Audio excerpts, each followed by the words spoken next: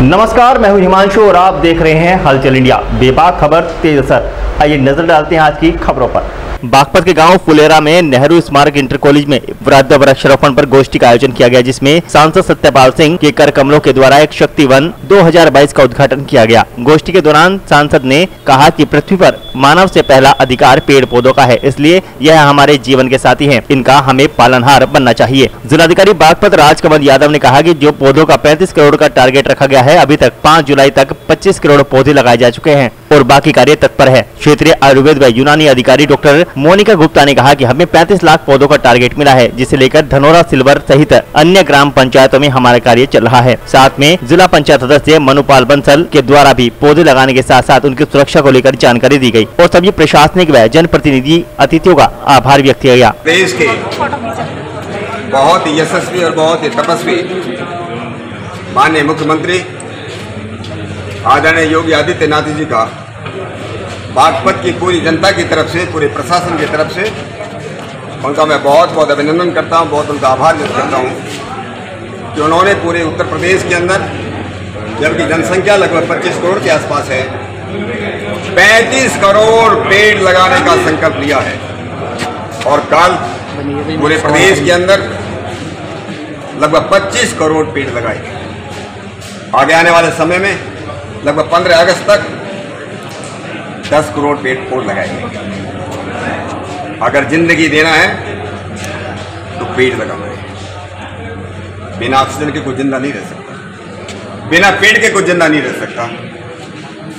और मैं इस बात को कहता हूँ जिस प्रकार से माननीय मुख्यमंत्री, इस प्रदेश को हिंदुस्तान का उत्तम प्रदेश बनाने के लिए प्रयत्नशील हैं या कृत संकल्प हैं, इस देश के यशस्वी प्रधानमंत्री मोदी जी के नेतृत्व में, जिस प्रकार से पूरे देश के अंदर वृक्षारोपण का कार्यक्रम हो रहा है। अमृत सरोवर बनाने का कार्यक्रम हो रहा है।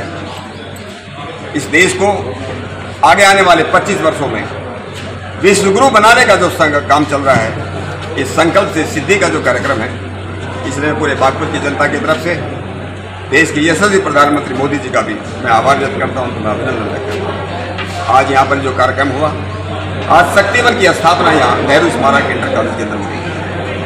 बहुत सी हमारी बहनें, हमारी इस कॉलेज में पढ़ने वाली हमारी बेटियाँ, हमारे स्वयं सहायता समूह की हमारी बहनें, सब लोग यहाँ पर आज इकट्ठी हुई हैं। सब अपने हाथों से एक एक पेड़ लगाए। सब संकल्प लेंगे कि जैसे हमारे आप अपने बच्चे को लालन पालन करके करने के बाद, पैदा होने के बाद उसको बड़ा करके जितना माँ जितना खुश होती है, दुनिया में माँ से ज़्यादा अपने बच्चे को ऊँचा देख करके कोई खुश होता जितना माँ खुश होती है। वो कहते हैं कि माता कुमाता न भवती पुत पूत कपूत हो सकता है। बेटा जो है बेकारा हो सकता है। लेकिन माता कभी भी कुमाता नहीं होती। है पेड़ फल दे या ना दे। लेकिन जिसने पेड़ लगाया है वो एक अच्छी माता बन बनने का उसका संकल्प लेकर के आज यहाँ पर पेड़ लगाए जा रहे हैं। मुझे सौभाग्य मिला। और मैं अपने हमारे यहाँ के जो हमारे डीएफओ हैं जिला वन अधिकारी हैं श्री हेमंत सेठ जी का। हमारे जिलाधिकारी, हमारे राजकमल यादव जी का। पीएम साहब को, माननीय सांसद जी को, स्कूल प्रबंधन को, सभी का मैं बहुत बहुत धन्यवाद करता हूँ, क्योंकि ये जो पौधारोपण का कार्यक्रम है, पौधे हैं, ऑक्सीजन है तो जीवन है। और ऑक्सीजन नहीं है तो आपने देखा होगा कोरोना काल में कि बिना ऑक्सीजन लोग कैसे लाखों लाखों लोग चले गए। तो ऑक्सीजन आज हमारे यहाँ जो सबसे सर्वप्रथम आवश्यकता है, एक टाइम से खाना ना मिलो, पानी ना मिलो ऑक्सीजन सबसे ज़रूरी है। और ऑक्सीजन की प्राप्ति, पौधे लगेंगे तो ऑक्सीजन मिलेगी, वरना फिर वायुमंडल में ऑक्सीजन कमी आ जाएगी तो बहुत बड़ी समस्या खड़ी होगी।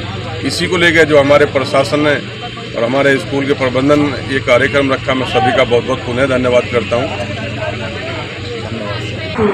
ये हमारे यहाँ जो पौधों का रोपण हुआ है तो जन सेवा कल्याण भारती के माध्यम से और मैं ये बताना चाहूँगी, पहले मैं अपना इंट्रोडक्शन दूँगी। मैं doctor Monika Gupta district Ayurveda Unani officer Baghpat.